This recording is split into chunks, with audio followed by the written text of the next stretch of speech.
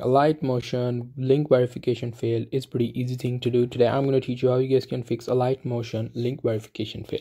So whenever you try to open any link it just not uh, you know down it doesn't download the files and it just says that there is verification fail error and it does not actually import the files using that link. So how can you fix that? This you can fix it by you know reinstalling the application. You just have to you know hold long press or hold press the light motion application in order to uninstall it. So you can uninstall it and after that you can reinstall it. But if you do not want to do that you just have to you know go to the settings. By the way this thing will only work in you know um, uh, android. So here you have to search for apps. And in the apps you have to go to this setting which should be apps. And in the apps you have to you know select the app uh, uh, alight motion. So it should be right there. You just have to go to that option.